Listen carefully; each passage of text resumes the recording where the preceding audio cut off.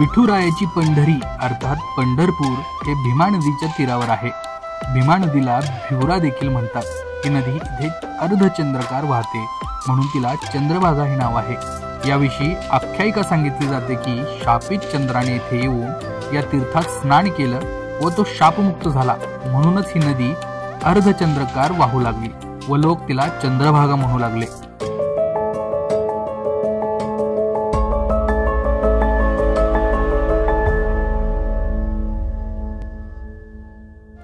पंढरीचा वास चंद्रभागे स्नान आणि दर्शन विठोबाचे. उभे राहुणी दर्शन मंडपी कृतार्थ करील जगजेठी. भाविक पंढरीत पाऊल ठेवताच प्रथम चंद्रभागेत स्नान करून पावन होतात.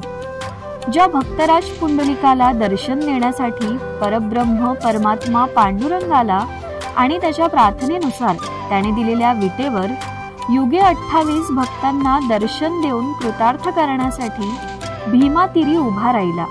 त्या पुंडलिकाचे दर्शन घेतात.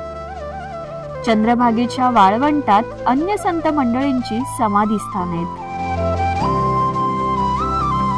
नदीचे पात्र विशाल अर्धचंद्राकार आणि देखणे. Bank of Maharashtra gold loan अगदी कमी आणि परवडणाऱ्या व्याजदरात शिवाय झिरो प्रोसेसिंग फी. तर मित्र त्वरा करा आणि गोल्ड लोनसाठी बँक ऑफ महाराष्ट्र डॉट इनवर लगेच अर्ज करा. बँक ऑफ महाराष्ट्र आषाढी कार्तिकी चैत्री माघी या वाऱ्यांना आलेले तसेच इतरही वेळेस आलेले विठुरायाच्या दर्शनासाठी आलेले भाविक वारकरी चंद्रभागेत स्नान करतात. वारकरी संप्रदायात चंद्रभागा स्नानाला विशेष महत्त्व आहे. भक्त पुंडलिकाचे मंदिर चंद्रभागेच्या पात्रात महाद्वार घाटासमोर आहे. हे मंदिर चांगदेवाने बांधलंय असं म्हटलं जातं.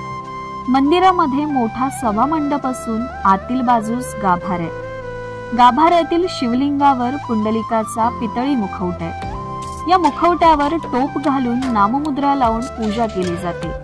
तसेच पहाटेपासून रात्रीपर्यंत पुंडलिकाचे नित्योपचार काकड आरती महापूजा महानैवेद्य धूपारती इत्यादी करतात. महाशिवरात्रीला या ठिकाणी मोठा उत्सव असतो. चंद्रभागा नदीला पूर आल्यावर पुंडलिकाचा चलमुखवटा उद्धव घाटावरील महादेव मंदिरात ठेवून तिथे पूजा आणि नित्योपचार केले जातात. पुंडलिक मंदिरासमोरच लोहदंड तीर्थ आहे. हे चंद्रभागेच्या पात्रात आहे. विशेष म्हणजे इथे दगडी नाव तरंगते असं म्हणतात. या तीर्थात स्नान केल्यानं इंद्राच्या अंगावरील सहस्त्र छिद्र गेली आणि इंद्राच्या हातातील लोहदंड या तीर्थात तरंगला अशी आख्यायिका आहे.